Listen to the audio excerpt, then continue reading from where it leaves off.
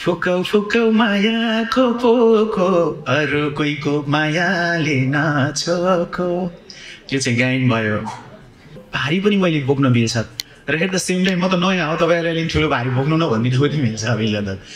छोरो अमेरिका गयो छोरो अस्ट्रेलिया गयो छोरी जापान गयो भनेर समाजको एक किसिमको डराइरहनु भएको थियो राजेश सर नारायण सर हामी डराइरहेका थियौँ अब दस पन्ध्र दिन मात्रै बाँकी छ उहाँले मलाई हिरो बन्ने सपना पनि पुरा गरिदिनु भयो म नारायण सरलाई धन्यवाद दिन चाहन्छु जति प्रदर्शन नीति नजिकै छ त्यति नै आफूलाई नर्भस फिल पनि भइरहेको छ त वर्षाजीसँगको कामको अनुभवको कुरा गर्नुपर्दा पोखरामा उहाँहरू अलिकति पहिला नै के केजी वर्षाजी पहिला नै काम गरिसकेको भएको हुनाले चाहिँ चलचित्रको कुरा गरौँ भने फेरि मैले भर्खर पाइन चाहेको छु यहाँ हेर्नु त सरस्वती सबैले हेर्नु त सबैजनामा नयाँ म हो जस्तो चलचित्रको दुई तिन पटक सर हामी डराइरहेका छौँ नारायण सर म राजेश सर।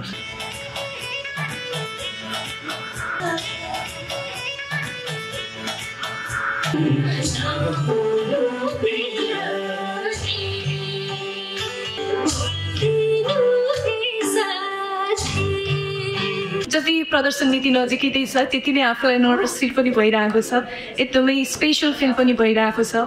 यति मजाले खुलेर जुन किसिमको हाइप एउटा क्रिएट भइरहेको छ एकदमै खुसी लागेको छ यो समूहसँग काम गर्दाखेरि जति प्रदर्शन नीति नजिकै छ त्यति नै आफूलाई नर्भस फिल पनि भइरहेको छ एकदमै स्पेसल फिल पनि भइरहेको छ।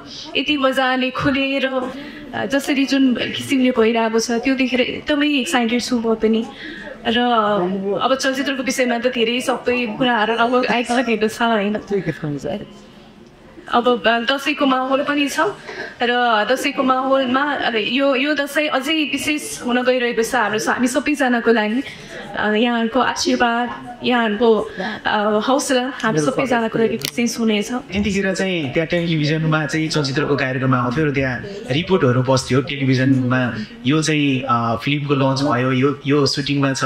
यसको पहिला पहिला अझ गीतहरू एल्बमहरू लन्च गरेको कार्यक्रम भएको थियो। त्योमा दाइले कार्यक्रम चलाउनुहुन्थ्यो र यस्तै देखिनुहुन्थ्यो आज म हिरो भइसक्दा पनि दाइ उस्तै नै देखिनुहुन्छ thank you so much Naresh दाइलाई जति पनि यहाँ आज हामीले सपोर्ट गर्नको लागि माया दर्शाउनको लागि उपस्थित हुनुभयो सम्पूर्ण हाम्रो कानुनविद जीवहरू राष्ट्रिय लोक तथा वर्गीय प्रतिष्ठानको तर्फबाट रिता दिदी लगायत सम्पूर्ण अग्रज दाई दिदीहरू लगायत सबैजनालाई जतिजनालाई हामीलाई आज सम्पादक गर्नुपर्ने धन्यवाद दिनुपर्ने हो उहाँहरूलाई चाहिँ म एकाउन्नौ दिनमा प्रमाणपत्र वितरण कार्यक्रममा धन्यवाद दिनेछु सो आज चाहिँ सबैजना अलिकति आँटिरहनु भएको छ। जस्तो मलाई महसुस भइरहेको छ तिन चार घन्टाको प्रेस मिट भने लामै हो। त्यसले गर्दाखेरि म कुमार आचार्यलाई धन्यवाद दिन चाहन्छु। यस्तो घट्नु हुँदो रहेछ उहाँले।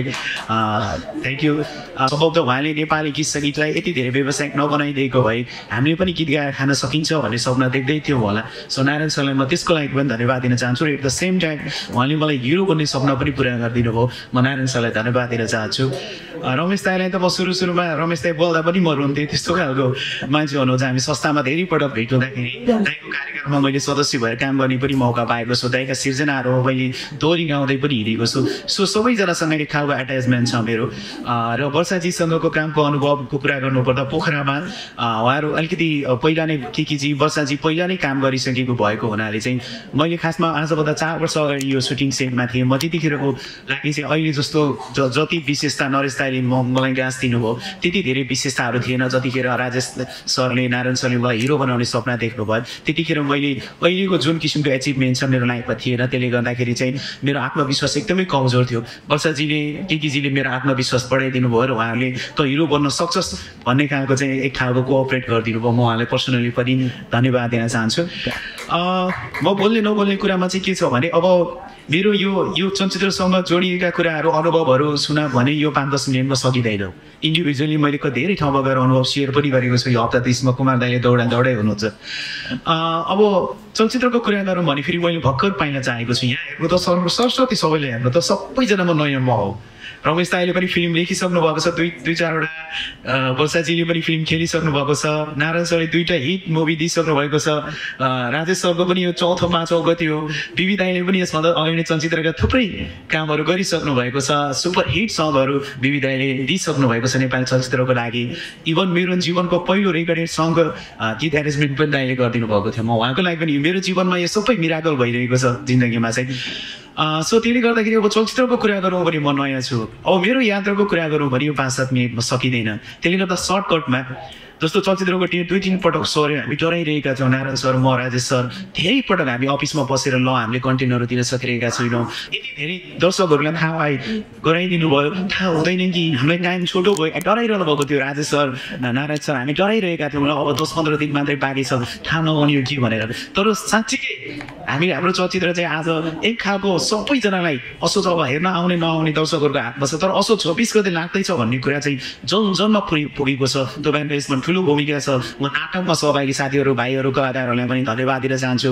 हामीले नेपालगञ्ज चितवन बुटोल पोखरामा हाम्रो एउटा यात्रा पनि गऱ्यौँ। मफसल टुर पनि गऱ्यौँ र टुरमा साथ दिने सबैजनालाई मफसलका पत्रकार साथीहरूलाई पनि म यहाँबाट धन्यवाद दिन चाहन्छु। हामीले बाग्लुङमा एउटा प्रिमियर गऱ्यौँ। मेरो आफ्नो जन्मस्थानमा प्रिमियर गर्दाखेरिको त्यो अनुभूति पहिलो चलचित्र त्यो चाहिँ मैले शब्दमा व्यक्त गर्न सक्दिनँ। म यसको लागि पनि निर्माताज्यूहरूलाई निर्देशकज्यूलाई धन्यवाद दिन चाहन्छु। अब बाँकी कुराहरू चाहिँ तपाईँहरूले केही सोध्नुभयो भने गरौँला मैले भनिहालेँ। मेरो अनुभव यति धेरै छ कि मैले व्यक्त गर्नै सक्दिनँ। चलचित्रलाई संसारभरि पुर्याइदिनु हुने हजुरहरू सबैप्रति म हार्दिक आभार व्यक्त गर्न चाहन्छु।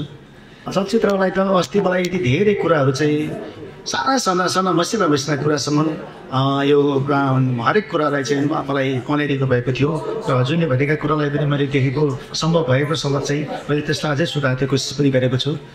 कथा पटकथा लेखक मेरो जीवनको साङ्गीतिक जीवनको अभिन्न अङ्ग रमेशजीलाई हटायो भने मेरो साङ्गीतिक पाटो चाहिँ अधुरो रहन्छ। मेरो प्रिय भाइ रमेशजी हाम्रो चलचित्रका नायक मेरो प्रिय भाइ प्रकाश सपुत बहिनी वर्षा सेवाकोटी निर शाह जो हाम्रो चलचित्रको मुख्य भूमिकामा चाहिँ हुनुहुन्छ उहाँ पनि एउटा प्रमुख महत्त्वपूर्ण भूमिका गर्नुहुन्छ उहाँ पनि आउँछु भन्दा भन्दा अलिकति ढिला भयो हामी चाहिँ दौड दौड गर्ने क्रममा चाहिँ हाम्रो चाहिँ कार्यक्रम एकदमै छिटो निर्णय गऱ्यौँ मायाको पोको अरू कोहीको मायाले नाचको त्यो चाहिँ गायन भयो। किन आउँदैन र संस्कृत तिम्रो याद भनेको तिम्रो सबैभन्दा ठुलो उपहार भनेको त्यही याद त रहेछ यो अहिले भयो यो फरक हुने रहेछ।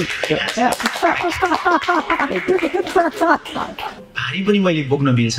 र हेर्दा सिमले म त नयाँ हो तपाईँहरूले अलिक ठुलो भारी बोक्नु न भनिदिनु पनि मिल्छ अभिलाई त तर मैले त्यो महसुस जिम्मेवारी महसुस चाहिँ गरेको छु। एउटा म्युजिक करियरबाट पनि गायन करियरबाट पनि एक खालको एउटा विश्वास कमाएको कलाकार भएको हिसाबले पनि र मैले सोचेर यो चलचित्र गरेको छु। सम्भवतः पहिले मनमा चाहिँ त्यो जिम्मेवारी चाहिँ बोध गरेको छु। थ्याङ्क यू छोरो अमेरिका गयो छोरो अस्ट्रेलिया गयो छोरी जापान गयो भनेर समाजमा एक किसिमको पीडा बुगाएर भए पनि त्यो एउटा देखावटीपन पनि हाम्रो समाजमा थियो। छोराछोरी अमेरिका अस्ट्रेलिया पठाउनु भनेको सामाजिक रूपमा पनि एउटा स्ट्याटस मेन्टेन गर्नु हो। भन्ने किसिमको त्यो दैनिक देख्दाखेरि म मेरो मन एकदम सधैँभरि लाग्थ्यो। ओहो यो पाराले यसरी सबै यो शक्ति बाहिरिरहँदाखेरि के होला भनेर। यही कथाले जाएर वास्तवमा दाईले नारायण दाईले मलाई बोलाएर अब प्रदेश दुईको तयारीमा लाग्नु पऱ्यो भन्दा पहिलोचोटि मैले हिजो साउदी कतार दुबईमा काम गर्ने श्रमिक दाजुभाइ दिदीबहिनीको कथा गरियो। आज अलिकति मध्यम वर्गका जसले जापान अस्ट्रेलिया अमेरिका उच्च शिक्षाको लागि ताक्न सक्नुहुन्छ। उहाँको कथा उहाँको पीडा अर्कै छ। उहाँले पनि माया मार्नु भएको छैन। हिजो प्यालेस्टाइनले इजरायलमाथि आक्रमण गर्दा एकजना नेपाली भाइले भन्नुभएको छ म के हुन्छु थाहा छैन तर मेरो आमालाई औषधि उपचार गरिदिनु होला तपाईँहरूले भनेर। त्यहाँ दुःख गरिरहेको नेपालीले आमा बाउको दैनिक दीर्घरोगी आमा बाउको उपचारका लागि पनि मिहिनेत गरेको छ। उहाँहरूको पनि आफ्नै दुःख छ। चाहेर नआएको होइन चाहेर निष्ठुरी जस्तो बनेको देखि पनि चाहेर कहिले निष्ठुरी निर्भय भएको छैन। यो कथाले मलाई छोएर हो। अरू उता मिस गरेर आउँछु मैले उता चाहिँ मिस गरेर आउँछु। त्यो कुरो चाहिँ हरेकको अनुभूति चाहिँ सबैको नै हुन्छ। वास्तवमा मलाई पनि त्यो महसुस हजुरले चाहिँ गरिरहेको कुरोलाई चाहिँ हजुरले मिस गर्नुभयो धन्यवाद। That's people are just.